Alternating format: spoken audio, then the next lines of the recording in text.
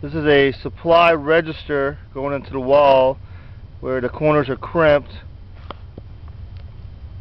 You can see it's not sealed.